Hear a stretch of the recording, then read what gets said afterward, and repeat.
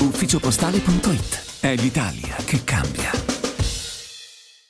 È iniziata una settimana bollente dal punto di vista climatico. L'anticiclone africano Apocalisse 4800 si rafforzerà ulteriormente su tutta l'area mediterranea con temperature massime che raggiungeranno punte fino ai 41 gradi soprattutto al centro-nord.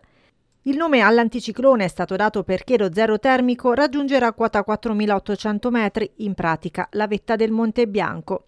Gli esperti del Meteo.it l'hanno già definita come la settimana più calda del 2022.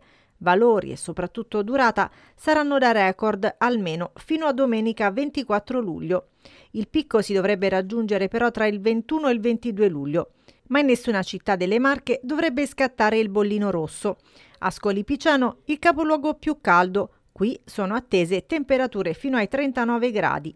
Intanto turisti e non cercano un po' di refrigerio al mare. Si fa una passeggiata sfidando queste alte temperature.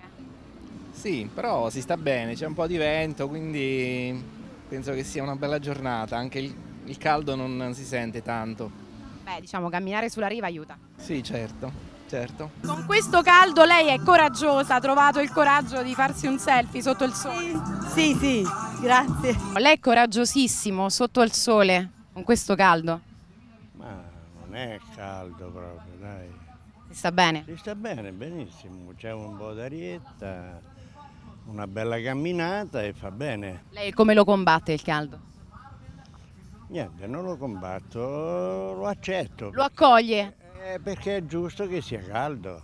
Buongiorno. Buongiorno. Doccia refrigerante. Bella doccetta fredda dopo questo bel sole. Ci sta, ci sta.